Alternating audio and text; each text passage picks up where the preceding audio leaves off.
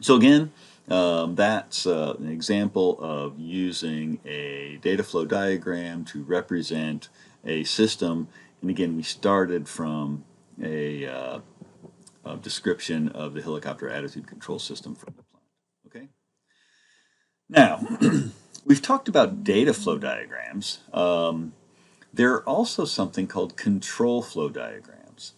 Um, and um, just like data flow diagrams analyzes the data flow through a system, um, the control flow diagrams analyze the control flow. And what we mean by control flow is events and actions. And, uh, and these determine their dynamics. Okay? So again, like the data flow diagrams emphasizes the flow of data, the control flow diagrams emphasize the flow of control.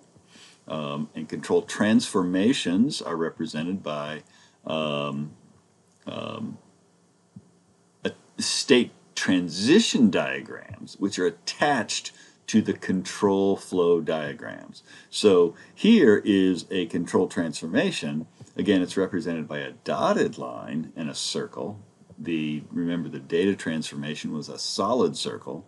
So this is how we represent a control transformation. Um, and uh, generally, again, the this then has a some sort of timing specification. What's going to what's going to happen when, and that's a perfect example for a uh, state transition diagram. And that's what we mean here is these control transformations are defined by an attached STD. Okay. Um, now, dynamic behavior is explicitly indicated in these things. Events and actions now look as dotted arrows, so they're uh, that uh, show again, just like we saw data flow through a data flow diagram. These is the the flow of events and actions, and you can have control stores um, you know, you can store effectively um, events and actions, or at least uh, record of their uh, appearance. Okay. Now, how does this stuff um, uh, work in the case of uh, use of a control flow diagram? Well, the control flow diagram doesn't have much value unless we link it with a data flow because that's really what's telling us is how the data is moving. Um, and so what we're going to call this is a real-time data flow diagram when you have a control flow diagram linked with a data flow diagram. Um, and so now we have to have a little bit more information. Um, and so we need some what are called synchronization prompts. Um, and there are three types of these prompts. Um, they're represented by a double-headed arrow. It's again a da dashed arrow because these are formally part of the control flow diagram, yet they show connection. They show the links, the explicit links to the data flow component. Um, and then they're labeled um, with either an E, a T, or an A to represent the enable, disable. Um, the trigger is the T. So E represents an enable disable prompt, um, T represents a trigger prompt, and A represents an activator prompt.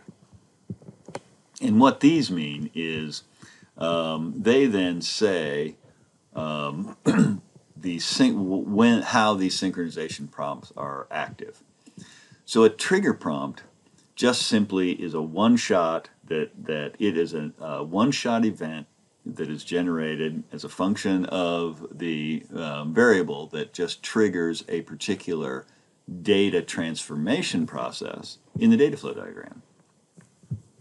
Okay, and likewise, um, a trigger prompt, again, is a one-shot that just says, okay, trigger now. An enable disable prompt is one that says, turn on now and run, then disable or turn off. Um, and then finally, the activator prompt is uh, one that just says for the duration of a state, um, a particular data process, a data transformation is active. In other words, it's doing its thing um, while you're in that state.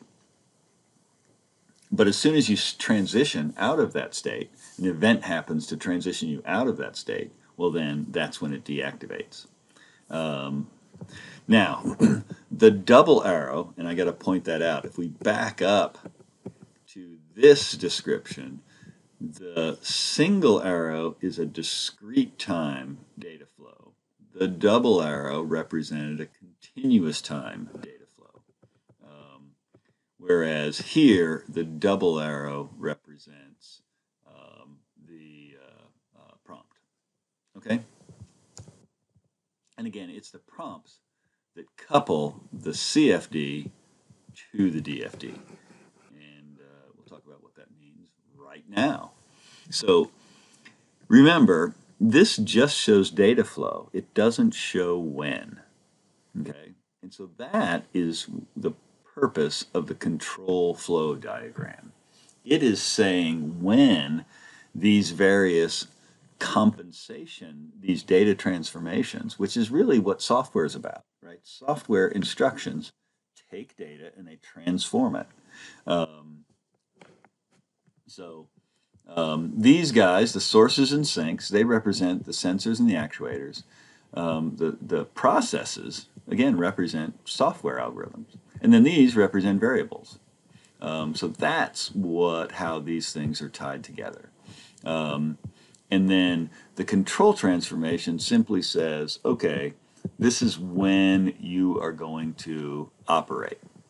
And these are all trigger prompts, okay, that represent when these functions, remember, they are just one-shot prompts. Is you get a signal, which is uh, a trigger, um, that then causes these software subroutines, if you if you like, um, to execute. And then these, of course, are named. So this trigger is called compensate gyro. By the way, um, there's an inputs as well as outputs. So a five millimeter tick is an event that comes in, and then um, the activator prompts, or the I'm sorry, the trigger prompt goes out and, and it has a name which is compensate gyro. So this is a five millimeter tick that comes in. So we get this event that every five milliseconds we get a new event coming into the control um, transformation, which again is defined by these state transition diagrams. And then you have these five um, triggers, which then make this happen, makes that happen, makes that happen, that happen, and that happen. Okay? Now, remember, the name associated with these trigger prompts then is what's going to show up in our state transition diagram. So here is an example of two possible representations, sets of state transition diagrams that provide the um, action. So the remember the state here is it's just um, it counts ticks modulo 8. Um, and then we see that there are two transitions. Um, one is every eighth tick. Um, we're going to transition here, and here are the outputs. They're the trigger prompts. Here's the T. We're going to reset the counter, um, which is counting up from the number of 5 millisecond ticks. And on the eighth one, we're going to reset that counter and we're going to trigger these four um, prompts.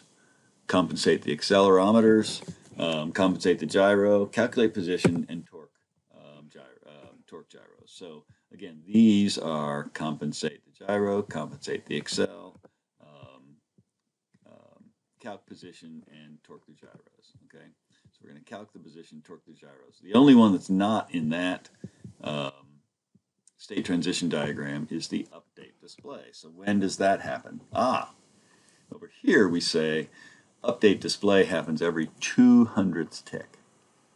So these are happening, remember our tick is every 5 milliseconds, so there's 40 milliseconds um, that these, uh, these things are happening. And then um, it's um, every second, so every 205 millisecond 200 of the 5 millisecond periods, ticks, have come in, right, which is a total of one second. So um, you count up, and you're constantly, all you're doing is incrementing the counter. for any other tick, you're just going to increment the counter. And then when the counter um, goes up to the 200th tick, you're going to reset it and update the display. So basically that says, and that generates this trigger prompt here. Um, and that trigger prompt update display is, sure enough, is this trigger prompt here, which means we're going to update display once a second. And that means take this data from the accelera um, um, acceleration um, data store and the position and attitude and put it on the display. Okay. So now we have a complete specification that tells how the data flows through the system and when it flows through the system. That's the key. Control flow diagram is saying when things are happening, and the um, uh, data flow diagram is saying how the data is being transformed, stored, and moved through the system. So you put those two together, and now this is a powerful way um, to uh, describe what we're doing. Okay, and uh, again, these state transition diagrams. This is another um, another topology that represents the same thing. Um, well, I only showed this one, right? Is it's going through eight ticks, right? There are eight different states. One, two, three, four, five, six, seven, eight, right? Double line is our start um, start state, um, and uh, so what's happening there is you can imagine that each one of these transitions is going to be a tick and the outcome, the output of each tick is going to be you're going to increment the counter and you're going to compensate the accelerometer, right? Update the counter, compensate the accelerometer. Update the counter, compensate the accelerometer, right? Until here, you're going to update the counter. Uh, well, you, then you're going to do this eighth tick, right? So this is one, two, three, four, five, six, seven. Here's the eighth tick. Um, the output is we're going to reset the counter and we're going to do a trigger prompts to compensate for the accelerometers, compensate for the gyro, compensate our calc position, and torque gyros. Okay. Again, this one would have a ring of 200 um, clocks uh, or states. I'm sorry.